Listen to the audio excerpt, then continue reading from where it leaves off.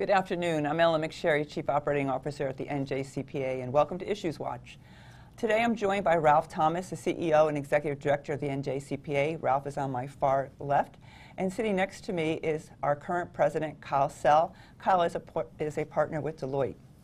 If you have a colleague who wasn't able to attend today, we'll be broadcasting this presentation on December 17th, 18th, and 19th. The December 17th presentation is at 9 p.m. to accommodate the busy workday schedules. And you'd be surprised at how many people have already registered for that particular session. If you have any questions at any point, instructions for submitting them are on the screen now and will be displayed periodically during the presentation. We will try to address questions submitted during the live presentation throughout the program. Questions submitted during a replay will be answered within 24 hours. During today's program, we will be covering many New Jersey issues, including pending legislation, a new program by the Division of Revenue, and a look at the state's economy and business environment. We will also discuss a number of national issues, trends, and regulations impacting the profession, and then provide updates on some of the key NJCPA programs, services, and initiatives. So we're going to kick it off with New Jersey issues, pass-through entity legislation. We've been talking about this really for close to a year now, and then Ralph is going to provide us an update as to where we are with it. Thank you, Ellen. Well, uh, actually today, the legislation is up in, in Trenton to be reviewed. Uh, I'll, I'll, just step back a little bit. Um, for those who may not be aware of this, uh, it is a bill that will help small businesses uh, by letting them take the tax burden at the entity level versus uh, the individual level.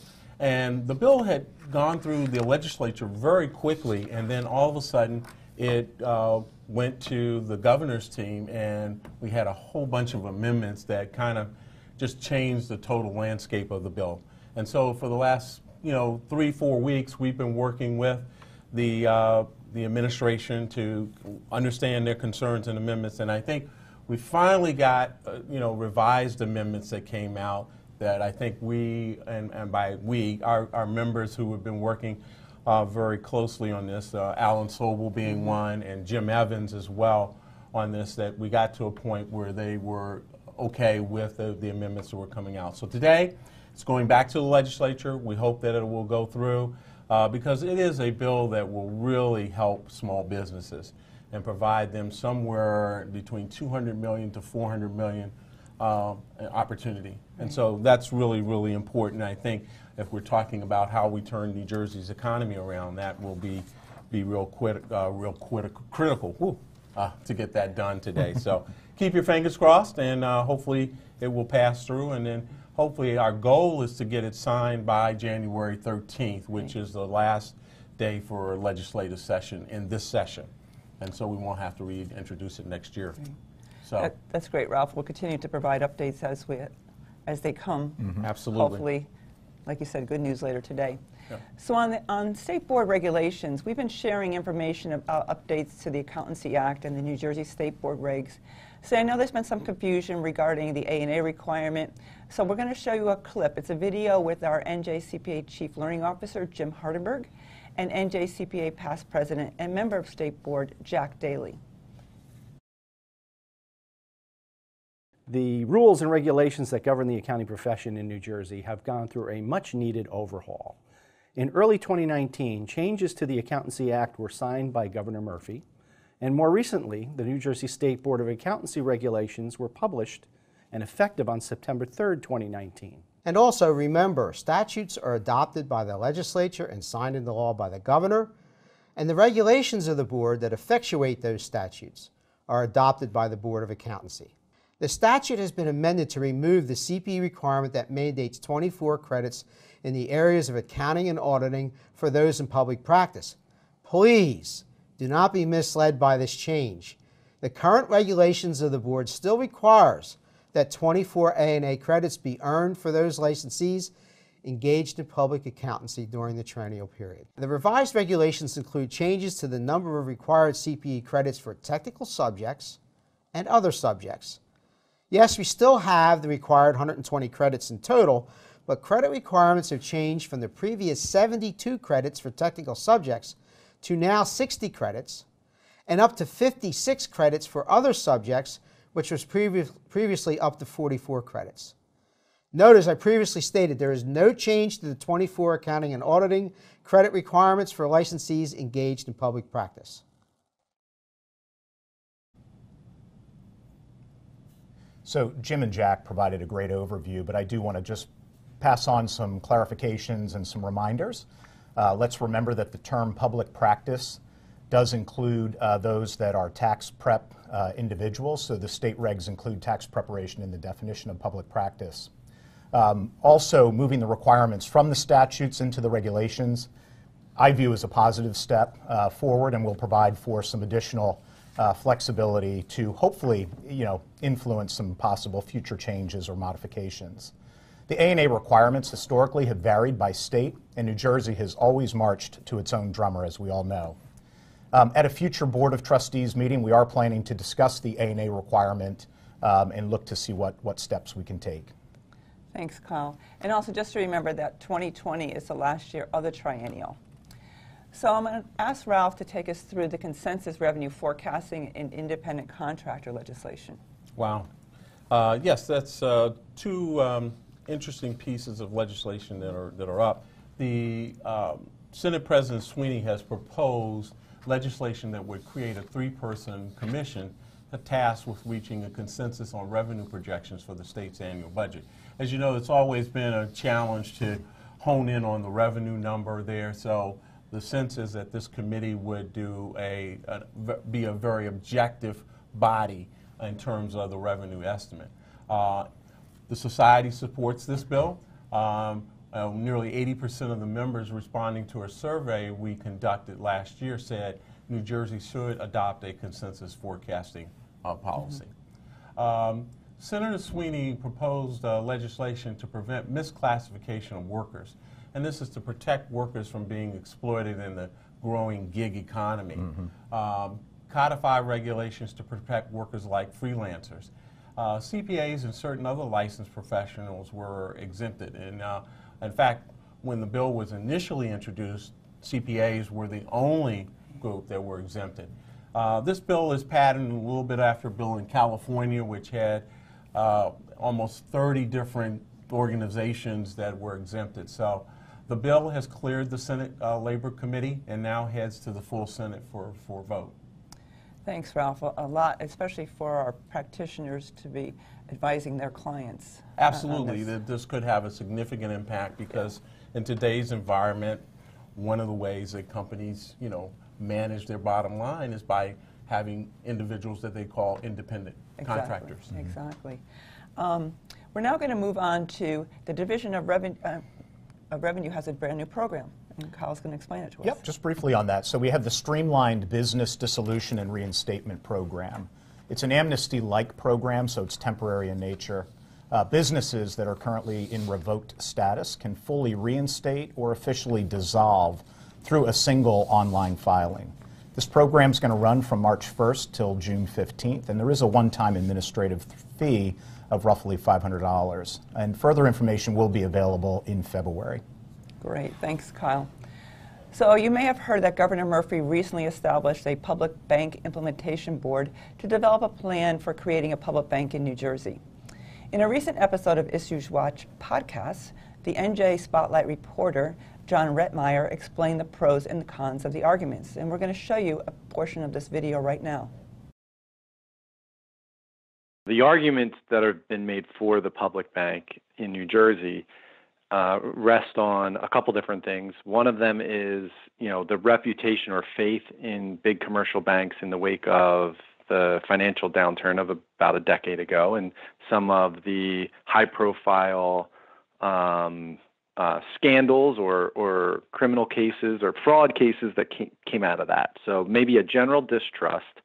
And then you have this notion of the way that the banking system works presently, where we might, uh, as the state or even local governments, put taxpayer resources in a commercial bank, um, potentially a large one that uh, uses the resources to underwrite loans that New Jersey may have no control over, let alone be uh, directed towards some sort of benefit in New Jersey or in local communities here. So the idea that you'd bring our deposits home, use what New Jersey's putting into banks to underwrite activities that would be in the best interest of communities in New Jersey. Um, so that would be another reason. And then the, the other one would be that you have projects like affordable housing projects or infrastructure renewal projects or even student lending that uh, may not be getting uh, t- may not take off or be profitable enough under their current banking model to get financing. And so what you would do is you would take projects that um, you know may not be uh, or you know may not be profitable for a bank or to to to, to underwrite at this point or that what they would the terms that they would give these projects may not be realistic for the government entities that are trying to advance them and so you you'd bridge that gap a little bit um, so I think that those are some of the arguments we hear from the groups that are pushing for the public bank. Uh, some of the arguments that we hear against, uh, one of them is, you know, uh, creating a new bureaucracy. Does the state of New Jersey need a new bu- bureaucracy, particularly one to get into the business of banking? Um, you know, uh, the political corruption issue I, I, has also been raised. Can New Jersey uh, politicians be trusted to run something like a bank? Uh, you know, I've in my years as a state house reporter, I've covered uh, arrests of lawmakers from both parties um, on various corruption charges. So it's it's not a you know it's not a theoretical. Um, and I think you know even the groups that are pushing for the public bank have raised questions more recently about potential issues coming out of the government's administration of economic development tax incentives. And so mm-hmm. that's another example of maybe well meaning people trying to incentivize hiring to benefit the state economy. And we do have these concerns in an ongoing task force investigation that's um, looking at whether they were gamed. So, um, you know, I, you know, that's certainly uh, a valid concern to to look at. Um, and then you hear from the banking community itself, and they will make note that there is already a community reinvestment requirement in federal law. And so, as part of their regular regulatory process, they they have to do things like what we hear uh, uh, are the goals of a potential public bank.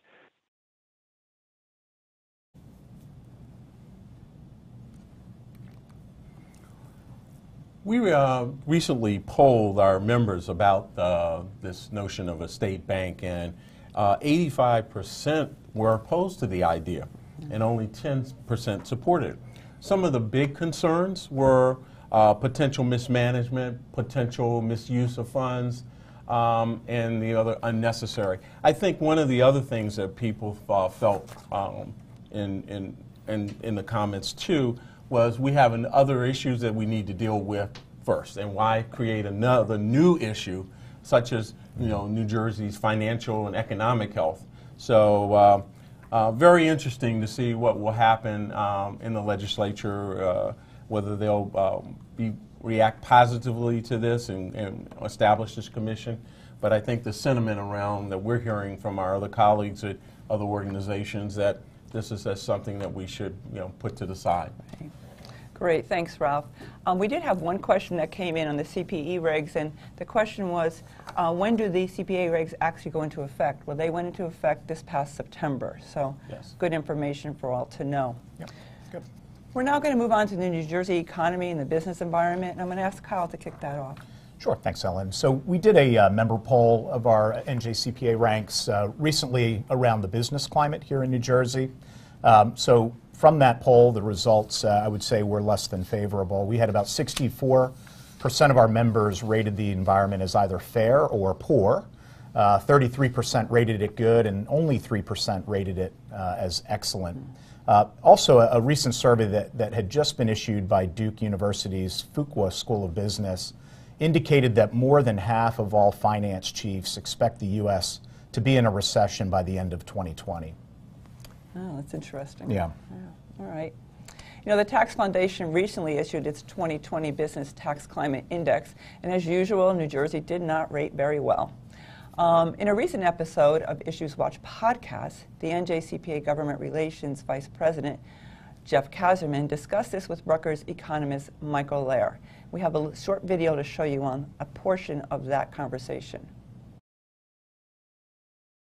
The Tax Foundation's latest uh, tax climate index for businesses it just came out, and not surprisingly, New Jersey came in dead last. Uh, and I, I think they're always either last or amongst the amongst the uh, three lowest in just about any tax-related poll.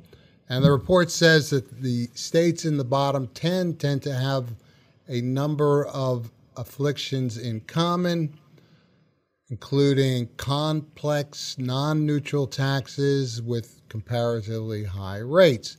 So, just how bad or good are New Jersey's taxes compared to our neighboring states? Well, I, you know, you, just looking at gas tax for one, for example, New, New York and uh, Pennsylvania have higher ones. So in that vein, uh, we can't complain too much, although those are two of the highest states in the union. So that's one of the issues. Uh, when it comes to property taxes, well, we have, probably have a higher share of uh, our taxes in the form of property taxes, which are you know somewhat regressive in a way. That is, you know, everybody, even renters, pay property tax through their rent, and so if you know if your rent is a larger portion of your income, which it tends to be, uh, it's it's not in a good direction. So we you know we'd rather not have it uh, in property taxes because the good times are bad. Uh, even this past recession, what happens is the you know municipalities have to budget, you know, balance their budget, so tax rates go up in bad times because they need to, you know, even when properties decline in value, that they increase the tax rate even higher, and they rarely come back down. Yeah, that well. tax yeah. rates are hard to bring Yep, back down. yep. And so this is one of the things. On the other hand, New Jerseyans compared to other states, because we're a wealthy state, expect more from our public school districts. We want Yep. to have the best schools. I mean, do you, do you live in West Windsor? Do you live in Princeton? Do you live in Morristown? Do you live in Moorestown? Do you where you know? Do you live in Haddonfield? If you don't live in those, you know, wow, geez, you know, you aren't well, doing the best for your child. That's kind of the the attitude in New Jersey. I didn't even know about quality of school districts when I was raised in Pennsylvania. Uh, so these are things that you know have become paramount and always have been in New Jersey. Well, that was interesting because, you know, there are some pros and cons to having high taxes. We do have, as you mentioned, very, very good schools. We have great reputation. Um, but there is that price you pay. Yeah, and I was just on a, a webcast recently with uh, some wealth management advisors that were sort of presenting the landscape of the tax situation, not just here in New Jersey, but across all 50 states. And it, it's, it's difficult to really, you know, understand why one would stay after retirement in the state of New Jersey when you look at the cost, the cost of living that comes with that decision. But benefits prior to that. mostly, Correct. yeah. Yeah, and I, and I think too, the, the, the other thing that people are really going focused on is whether the state really operates efficiently. And, uh, and they think that, I think there's some redundancy in a lot of areas. And they really are, I think, I think they're willing to pay higher taxes. But if this, the state does a better job of being more efficient at what it's delivering, the goods and services that they're delivering to uh, New Jerseyans. I think that's a key point. We did have a question that came in, but I think it's really more of a, a, a very good suggestion by one of our members. Um, person wrote, why can't New Jersey simply incorporate a tax or surtax that would apply to all freelancers and self-employed Schedule C filers that would essentially collect the UIDI employer and employee taxes?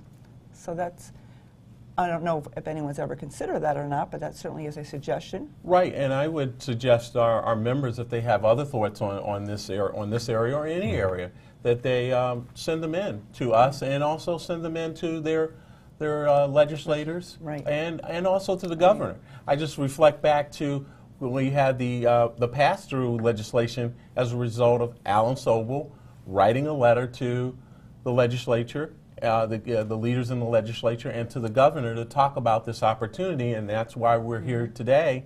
Uh, again, sitting with our fingers crossed that this Yeah. will go through, be, and, and an idea that he had. So I encourage our members to, you know, think about, give some thought to some of the issues that we, we're talking about today, and even uh, issues that maybe we haven't talked about, to you know provide Right. us with input on those suggestions because it can be helpful. Absolutely.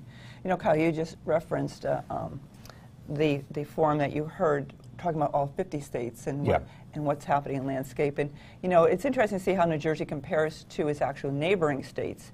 Um, Jeff Kazerman also talked with Michael Lahr a little bit about this, and we have a sh- short clip on that also. How do we compare to our, our neighboring states in the Northeast? Well, I'd say compared to New York, we're not growing as fast, uh, we, but they tend to take care of their own just as well as New Jersey does.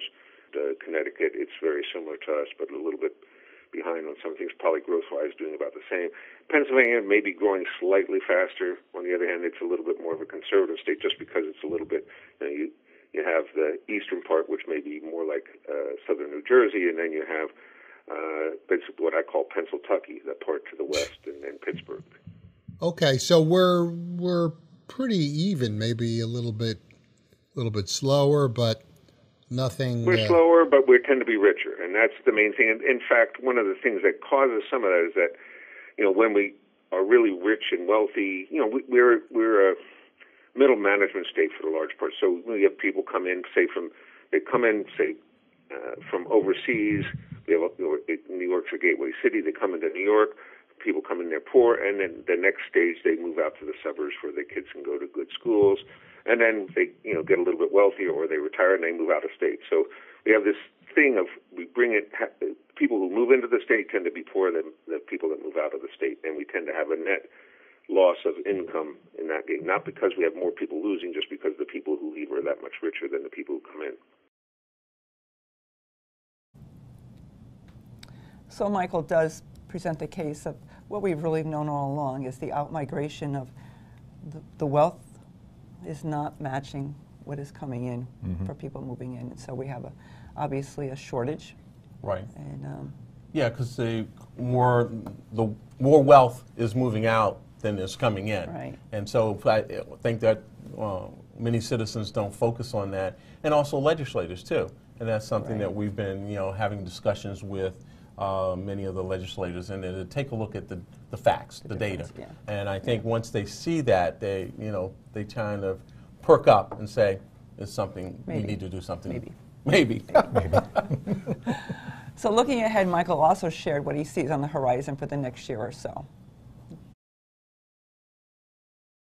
depending upon the national economy, if the national economy, uh, uh, you know, we see a, a mild recession coming uh, over the course of the next year or so. Most economists do and at the national level. There's some who are a little more sanguine, but uh, the large majority of the uh, people at the national level are saying, "Hey, we're going to see, uh, in general, unemployment rise. We're going to see uh, employment fall a little bit, and uh, and a lot of this is due to drags from the federal economy. We have, you know, while we had a tax cut, which is a good thing, we've uh, not seen the expenditures fall at the federal level, and that's causing, as you may know, something on the order of a one trillion uh, increase in deficit by one trillion dollars a year. So this is that indebtedness is overcoming uh, the interest on that indebtedness is overcoming the benefits of the tax cut, and that's why the, we're seeing this likely tanking of the economy, national economy the next year. And New Jersey is going to be part of that because a large part of our economy uh, well, wealthier and we tend to invest a little bit more in the market. So if we lose some of our wealth in the market, that makes things a little tighter here. People pulling their, at least the people our age uh, who are converging on retirement may pull our belts in a little bit, move our assets away from the stock market into more fixed funds and that sort of thing. So that means we'll maybe put it into bonds or something else even uh, less uh, lucrative in the long run than that. So they, that's the kind of thing that we'll be seeing in general over the course of the next year. So we thank Michael and Jeff for giving us that information today. Um, speaking of looking ahead, Ralph, what should we be keeping an eye on from a legislative standpoint in New Jersey? Well, as um, you know, the budget. it's always a great topic.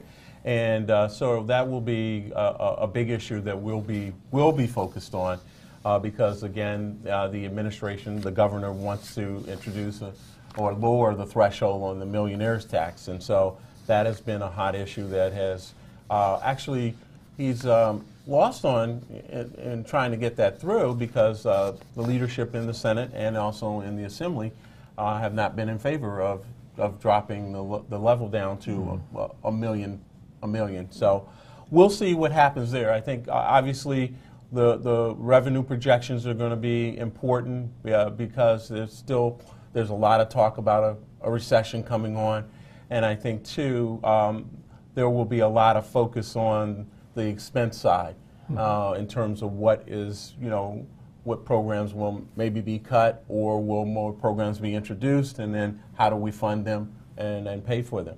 So I think that it's going to be an interesting discussion over the budget. I think uh, there will probably be some butting of heads, Yeah. like it was last year, and uh, we'll just wait and see. And, and again, we're going to be, you know, focused on, on what's happening there, and certainly hope to be in a position to provide input on that. Um, another big item that was uh, people thought may have gone through the, the legislative session this year was the adult use of cannabis, and that uh, that seems to be headed for a ballot initiative in 2020 on the November um, ballot.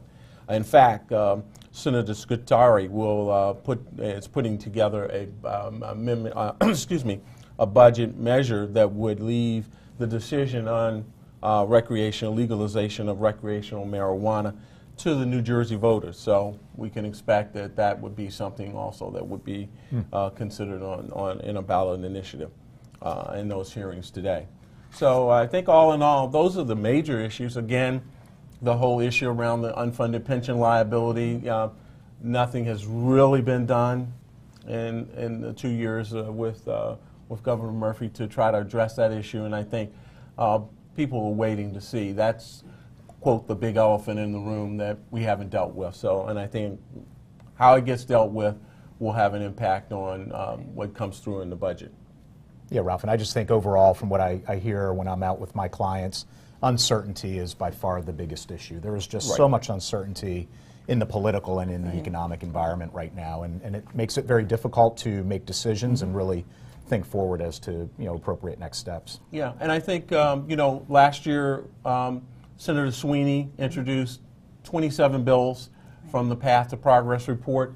Um, many of them have not been moved or whatever, so I think this year, this new session will be an opportunity to see some of those uh, getting through. And we had a number of things that we had in, such as um, Section 1202 um, and things that would help the small business community. So uh, this, this will be, I think, a very Yeah. interesting year to see um, because I think people, the- in particular the small business community, I think is poised to have something done on their behalf that will uh, encourage them to expand their footprint here, stay And here. stay. Stay here Yeah. is a real critical thing. Yeah. It's key uh, because when you look back on the current administration, nothing's really been done for the small business Right. community. So I think that should be a big priority of the administration and certainly one uh, something that we've been pushing as we have our discussions with lawmakers. Right. Well, thanks, Ralph. Yep, good. So we're going to move on to national issues now, and the CPE, C, I'm sorry, the CPA evolution. So you may ask, what is that? It's a combined NASBA AICPA initiative aimed at evolving the CPA licensure to reflect the skills and knowledge that CPAs increasingly need in a technology-driven marketplace. So you may ask, why is this needed? Right, so I'll talk a little bit about that. You teed me up nicely, Ellen. Thank you. Um, really, really, it comes down to demand, right? Employers are demanding uh, that their new hires have the appropriate level of skills and training. Uh, we're seeing firms hiring few accounting graduates, fewer, I should say, uh, and then coupling that with more non-accounting graduates. So the hiring trends are shifting. Technology, as we all know, is impacting how we do our jobs, and we need to adapt quickly as a profession, or we'll, we'll become stale very quickly. Um, so expertise in technology and, and analytics will be essential. And to sustain the profession and to protect the public, we need to rethink how CPA licensure works. So, um, what is what are we hearing in the marketplace? Uh, certainly, there's been concern by members as to does this mean sort of a bifurcation of the CPA credential? And I'm happy to say, as a result of the meetings we had at, at Fall Council, that we learned that there is not going to be a bifurcation of the CPA credential. What is going to be, uh, AICPA and NASBA are working hand in glove to focus on a core that includes accounting, auditing, uh, tax, and technology.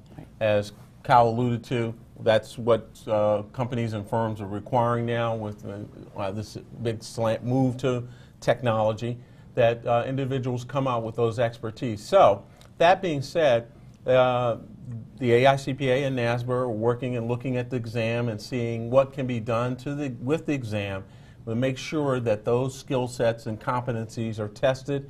And um, and also it's also uh, there to you know hope bolster the credential as well. Because there was a concern that would you have a split off um, into the technology area? And so by providing an opportunity for individuals to get a CPA but also to you know have those technology skills I think that's going to be extremely helpful because it's going to be so important.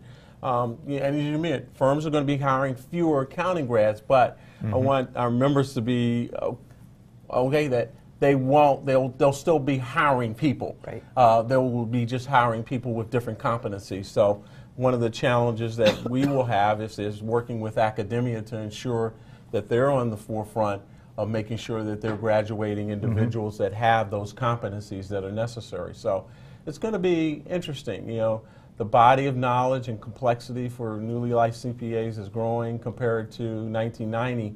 Uh, just to give you some perspective, three times as many pages in the Internal Revenue Code, uh, four times as many accounting standards, and five times as many auditing standards. So a lot of changes going on. So uh, I think it's going to be interesting. I think one of the things too is, you know, with not only the students that are coming out, but in individuals that are currently in their careers, uh, going to go through a process of unlearn and relearn, uh, so that they can uh, be competent and address the needs of their clients and, and, and, and, and customers as well. It's a lot to digest. It and- is. It really is. And just to give a little bit of a, a look under the covers as well in terms of a possible model that NASBA and the AICPA are, are thinking about. So they're evaluating feedback. There's been a lot of discussion and a lot of outreach around the variety of licensure models that might be possible or considered. And, and one model that, that's being uh, evaluated currently really kind of analogizes well to that of a professional engineer. So every candidate would have to pass the same core, uh, as Ralph had talked about just a moment ago audit, tax, technology, and accounting, right? That would be sort of the core. Um, and then you would basically choose one discipline. And the disciplines themselves have not yet been finalized, but there are three that have been identified so far. So that would be business reporting and analysis, information systems and controls, uh, and then tax compliance and planning. Thanks, Kyle. So what are the next steps? They're going to continue to build out the model and continue to seek feedback. They're going to continue dialogue through at least mid-2020, and the goal is to finalize the model sometime in the summer of 2020. Then there'll be a plan and a map out of implementation. And if you wish to provide any feedback at all to the AICPA on this particular initiative, please do so mm-hmm. by emailing them at feedback at evolution evolution of CF, CPA.org. We'll get you out That's a mouthful. Yeah, That is a mouthful. Sorry. Whoa. Um, so the Accounting Today, moving on to a different topic now. Accounting Today recently released their 2020 Year Ahead Survey of CPA firms. And they did this from firms across the country. Mm-hmm. Kyle, in your opinion, what did, what did you find most interesting about these findings? Yeah, there were some definitely some interesting findings. So 24% of the firms that were surveyed anticipate that they will grow 10% or more in 2020. Uh, 19% of firms anticipate that they'll grow somewhere in the 6 to 9% range. The percentage of small firms uh, that are concerned, their concern is really about keeping up with technology. So that level of concern has increased significantly from last year's survey to this year's survey. So 29% last year versus 42% having that concern this year. Uh, we're also hearing similar uh, facts and, and, and uh, viewpoints from those here uh, in the state of New Jersey. Uh, relative to the tax season, there certainly appears to be less pessimism around the 2020 tax season. Uh, only 5% think it will be worse than last year versus 24% uh, who expected that in the last survey that it would be you know, a very difficult and challenging season. Right, thanks, Kyle. And speaking of tax, Ralph, why don't you take us through what you've seen on the tax side right now? Well, there's still the, the topic of the cap on property taxes, which has been a, a huge item for uh, New Jersey. And so, On the salt. on salt, yes. And so uh, we continue in the, looking at opportunities to or maybe workarounds for that. Um, IRS continues to come out with saying you can't do that, workaround. So um, Congressman Gottheimer is still working to try to get something through in Washington. Uh, in fact, he just had a press conference in the latter part of November uh, talking about salt, and in particular, he represents Bergen County and a number of the counties in, he's in the fifth district. And the average property tax in Bergen County is twenty-four thousand dollars. So you can imagine that his constituents are a little bit upset about a ten thousand dollar cap. So we're continuing to push forward on that. You know, again, I, I go back to you know what we have work going on in the legislature today to try to see how we can provide some relief in that regard. Um, but I, I think it's going to be uh, challenging.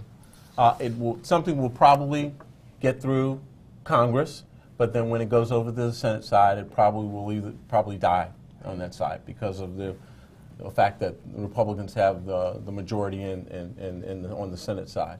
So we'll just stay tuned. Uh, we're, we're still not getting, you know, uh, giving up on this. So a um, couple other things that you know have updated rules for using optional standard mileage rates and, and computing deductible costs of using a vehicle for business, charitable, medical, or moving expense purposes. Updated rules for using per diem rates for business travel. Taxpayers can use per diem rates or, or actual expenses. Uh, final regs uh, confirm that individuals taking advantage of increased gift and exclusion amounts in effect from 2018 to 2025 will not be adversely impacted after 2025 when exclusion amounts drop to the pre-2018 levels. Final regs issued on the foreign tax credit allows individuals and businesses to claim credit for taxes paid or accrued to foreign governments. And so we've just got a lot going on here uh, that's going to be interesting. But I, uh, I, the good thing is that we're staying on top of these things so that we can make sure that we get information out to our members. I challenge members to always check our website so that we uh, to see what we've been posting out there on these various issues. And again, I just revert back. If you've got a great idea, if, a mem- if members have great ideas, shoot them to us, shoot them to your legislators. They uh, are very uh, welcoming to get ideas and thoughts and what they want to hear from their constituents. So, Thanks, Ralph. Yeah, and Ralph covered a lot of topics, uh, but we also have other I- IRS news to uh, share with you. Um, so there is new guidance out on tax treatment of virtual currencies. Um, so virtual currency, from a, a, federal point of view, is considered property uh, for federal tax purposes, and so they've now added a new question on Form 1040, Schedule 1, uh, which basically says or asks, at any time during 2019, did you receive sell, send, exchange, or otherwise acquire any virtual currency. The IRS is also beginning to visit taxpayers who have compliance issues. Uh, the IRS will focus on areas where there have been limited, a limited number of revenue officers available due to declining resources. Also, be sure to get ready for this year's tax season. Don't forget to renew your PTIN with the IRS by December 31st. Make sure to review your e-services account for accuracy update your powers of attorney and third party authorization records, and also make sure you have written security plans as required by the FTC. That's great. That's, that is a lot. Thank you. It's a lot. Good luck remembering all that, too. It's a lot. So we're going to move on to a topic near and dear to your heart. Near and dear to my heart. We love the FASB. As, a, as an auditor by trade, um, spent, who's spent now 27 years in the wonderful world of FASB uh, rules and regulations, we do have uh, some updates for you. Um, so the FASB has delayed the implementation date of several standards.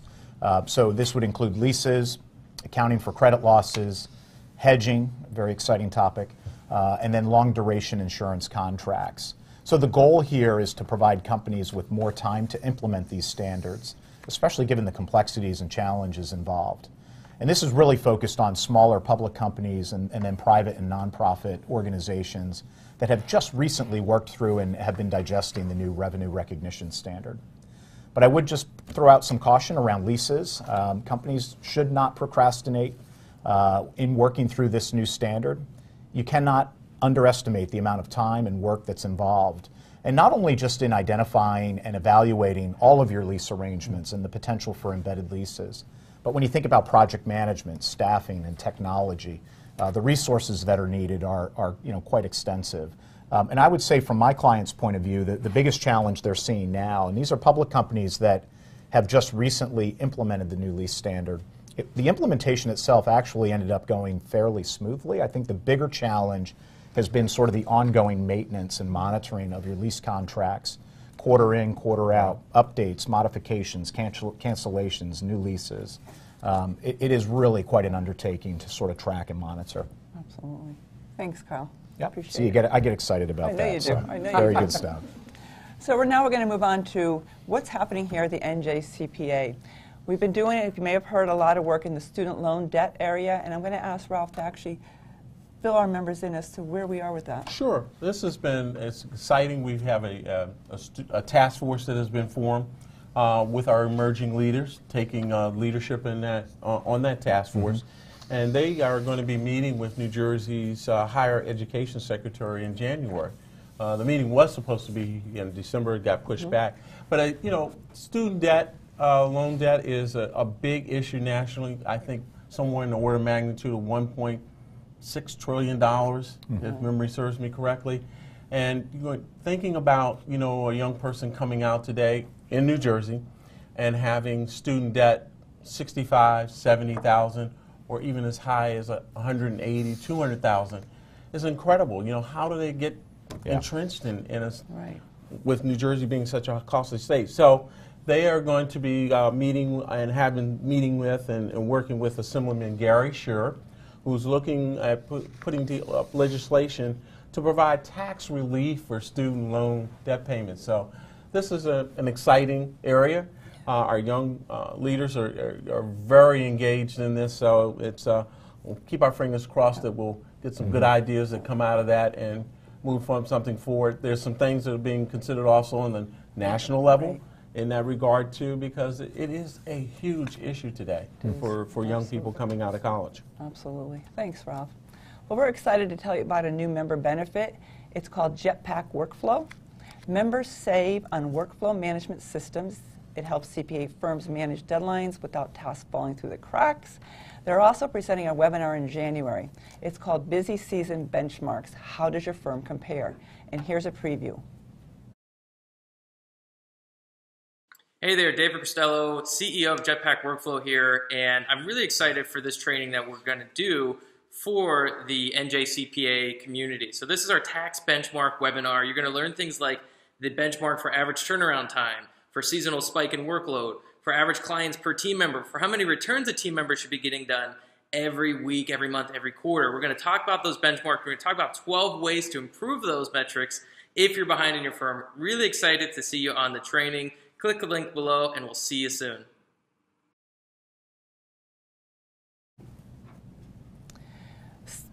I hope you enjoyed that and you'll tune in and, and take advantage of that program. I think it's a, a great benefit for the firms. Another benefit for the firms and actually for companies is something called Launchpad. It's a new site to help firms and businesses and college accounting students link up for internships. How great is that?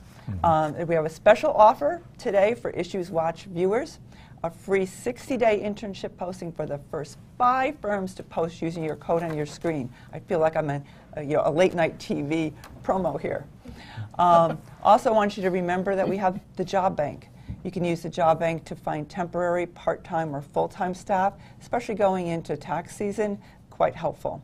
You can also save 20% on posting to the Job Bank now through January 15th using the code on your screen. We don't want you to forget about our college scholarship program.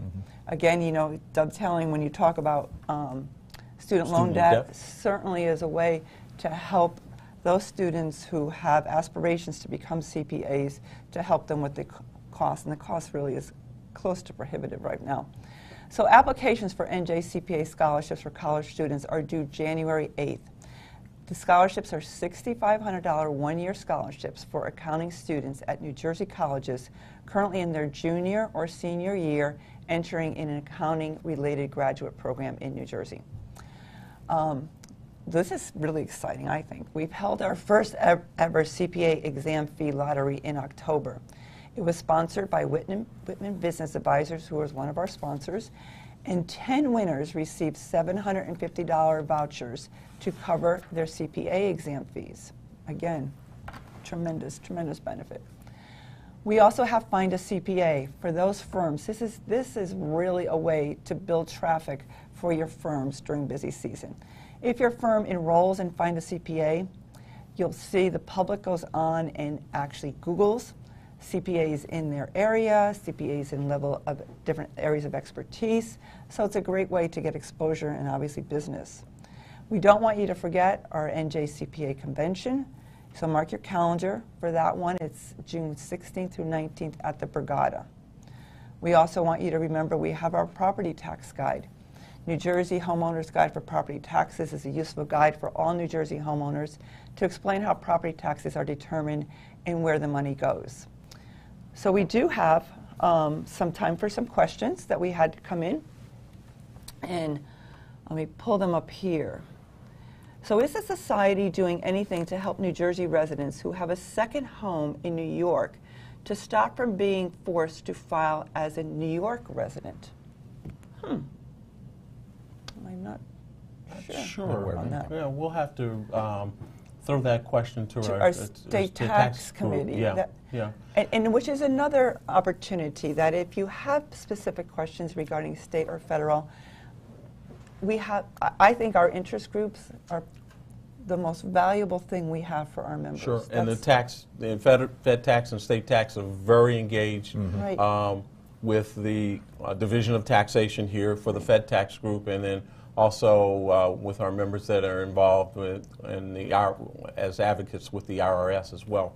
One- And they can post those on the open forum. Absolutely, on the that open correct. forum. One thing I, I forgot to mention, Ellen, before um, relative to our emerging leaders is that in, on the um, student debt issue, they actually have uh, a presentation that they have uh, delivered to parents about the pros and cons and some of the challenges as you think about, you know, incurring debt. So Right. it's something if you've got uh, young people out there or you got an organization, I think our young people would be more, our emerging leaders would be more than happy to go out and do presentations. They've done presentations before, so That's another, good another good Yeah. Really resource. so, So I think this, you might be able to help on this one.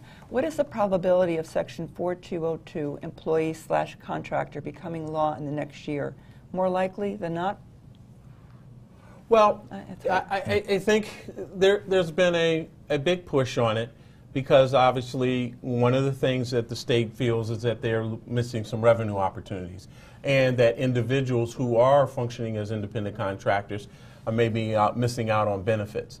Um, so I think, you know, um, uh, it's, it's really 50 50 on there. Uh, there have been changes that have been made since it was introduced. I think the good thing is that, again, CPAs are excluded uh, in terms of that. But you know, your clients are going to be impacted uh, by this issue as well. So we will continue to uh, to press the flesh on this um, to try to make sure that the bills that come out are have as minimal impact on New Jersey's economy as possible. But I, I, Right. I be I have to be honest that one of the thoughts was it provides additional revenue for the state by Right. making a, an independent contractor an employer Right, employee, excuse me. right. Somebody else here just made a comment that, again, a lot of these bills are killing small business. Oh, and- absolutely. Yeah. Um, Yeah. There's no question. Fortunately, though, I think, and you know, thus far, um, you know, we have good relationships both on the Senate side and also on the Assembly side, and um, the leadership on both of uh, those houses are focused on the impact on small business. If you go back to the Path to Progress report, a lot that was in the section on, on taxes was uh, trying to, you know, incentivize small businesses and, and Right. give them something that they could be happy about. Right. And, and one last comment here, and, and I think this almost speaks to Opportunity New Jersey. Uh, should the NJCPA embark on a NJ, a New Jersey legislative re- resolution similar to the AICPA's on the fiscal state of the nation? The N- New Jersey legislator ignores the fiscal health of the state and only focuses on its annual budget. Our primary government operations reflect a deficit in excess of 140 billion as of June 30th, 2018, and no one ever sees this this particular. Well, yeah. I think uh, we, we have uh, pressed that button as well. Uh, I think in the path of progress there was some something uh, so- around that, but I think also in this uh, group that uh, Senator Sweeney wants on the, the consensus revenue, that's a start uh, in terms of making sure that the revenue projections that are included in the state budget make sense and are doable. Right. Um, and again, you know, the goal is to try to get New Jersey out of the situation it's in. You know, we're always ranked 49th, 50th. Uh, the only thing that we're ranked number one is in out migration. we need to stop that Right. uh, as well. So, uh, yes, uh, we we continue to focus on that, and um, in, in terms of trying to get them to understand uh, some of the unintended consequences that come about as a result of some of the, the public policy and legislation that they put forth. Right. Thanks, Ralph. So just to reiterate what I said at the beginning of the program, if you have a colleague who missed the program, we'll be replaying it three times for CPE credit. December 17th at 9, that's PM. December 18th and 19th at 12 PM. In the meantime, check njcpa.org, NJCPA Pulse, and the open forum for updates on all the topics we discussed today and more. Remember to follow us on Twitter. So I just want, um, actually, Don is coming up to interrupt the broadcast. Hello. Hello. Oh, hello, Don. I have lines. All right. Uh, I just have to interrupt this broadcast. As you might know, those of you watching, uh, Ellen will be retiring from the NJCPA in May. So this will be her last Issues Watch broadcast. Um, she's been involved since the very beginning. Um, this is actually your Sweet 16th uh, broadcast. Wow. We've been doing this for over five years, and you will definitely be missed. Thank you. Thank you So so, sweet much. Don. 16, and now is for she's being kissed. Thank you. Yeah, very nice. It's been my pleasure to moderate this, and couldn't have done it without you guys. Thank you. We'll miss you. And actually, the, everybody who is in this particular room, you don't see what goes on behind the the scenes. folks They're that are behind the scenes. amazing, amazing. All right. Well, to close out this episode, please enjoy this short highlight video and happy, happy holidays. Happy, happy or holidays. happy holidays. Good morning. I'm Ellen McSherry, Chief Operating Officer at the NJSCPA. Welcome to our first edition of Issues Watch with Ralph Thomas. Welcome to today's Issues Watch edition. Welcome to Issues Watch. Welcome to Issues Watch. Welcome to Issues Watch with Ralph Thomas. Welcome to Issues Watch with Ralph Thomas. Welcome to Issues Watch. Welcome to Issues Watch. Welcome to Issues Watch. Welcome to Issues Watch. Good afternoon. I'm Ellen McSherry. As Don said, I'm Chief Operating Officer here at the NJCPA. And welcome to Issues Watch. Welcome to Issues Watch. Welcome to Issues Watch. Welcome to Issues Watch. Good afternoon. I'm Ellen McSherry, Chief Operating Officer at the NJCPA. Welcome to Issues Watch.